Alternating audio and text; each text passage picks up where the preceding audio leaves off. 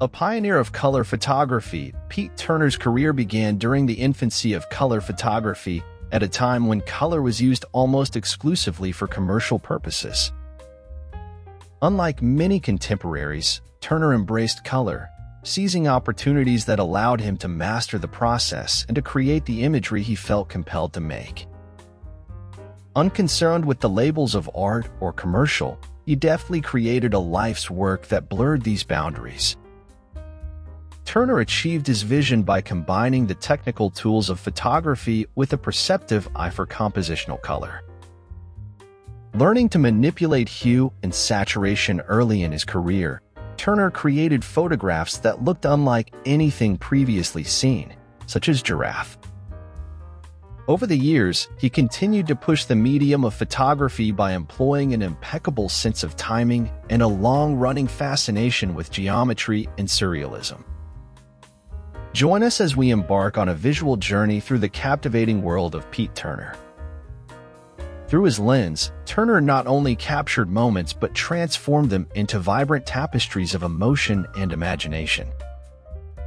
As we delve deeper into his legacy, we discover the profound impact of a true pioneer whose creativity knows no bounds.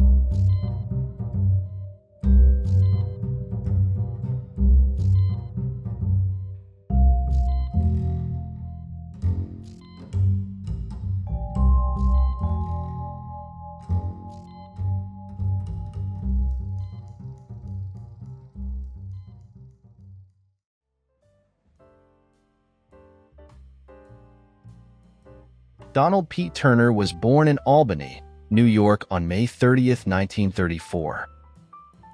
Turner was an American photographer renowned for his vibrant color photographs. According to Photo District News, he is one of the 20 most influential photographers of all time. His photographs are featured in permanent exhibition collections of major museums, including the European House of Photography the Tokyo Metropolitan Museum of Photography, and the International Center of Photography in New York. Pete Turner began taking photographs in 1945, initially in black and white. From 1948 onwards, he started experimenting with color photography. He studied at the Rochester Institute of Technology between 1952 and 1956 under the guidance of Ralph Hattersley Robert Bagby, Les Strobel, and Minor White, alongside fellow students such as Bruce Davidson and Jerry Uelsmann. His first published work appeared in the Popular Photography Annual in 1956. During his subsequent military service, he worked in the color photography laboratories of the United States Army. After his military service, he contacted record producer Creed Taylor, for whom he designed photographs for numerous albums starting in 1959. Initially, these were portraits of musicians, but later, due to his interest in color combination, he photographed objects and landscapes with a highly abstract appearance. In that same year, 1959, he undertook his first photographic expedition from Cape Town to Cairo for National Geographic magazine and for the Airstream Trailer Company. Pete Turner managed to sell the remaining photographs to Horizon magazine, as well as to some museums.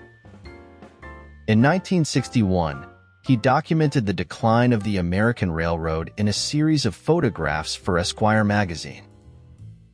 In the following years, he also worked as a cinematographer and advertising photographer, repeatedly receiving commissions from magazines for photographic essays in remote or distant countries. In 1968, he showcased his works in solo exhibitions at Photokina in Germany and at the George Eastman House, Kodak's Photographic Museum. In 1981, the American Society of Media Photographers honored him for his outstanding photographic achievements. In 1986, Turner published his first illustrated book, Pete Turner Photographs, with Abrams Books. In 2001, his second book, Pete Turner African Journey, compiling Turner's photographs in Africa, was published by Graphis In 2006, he released The Color of Jazz with the media group Rizzoli, featuring a selection of 80 photographs that adorn the album covers of CTI Records and other music labels. In 2007, the Eastman House showcased his complete works in an exhibition titled Pete Turner Empowered by Color. Turner passed away on September 18, 2017, at the age of 83, at his home in Long Island, New York.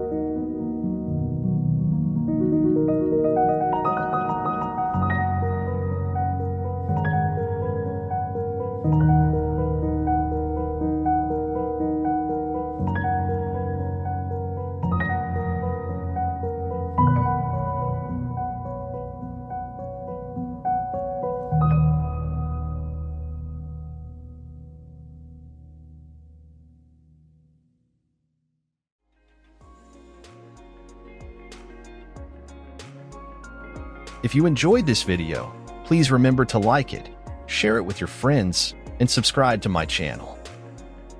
This way, you'll always stay up to date with all the videos I produce here.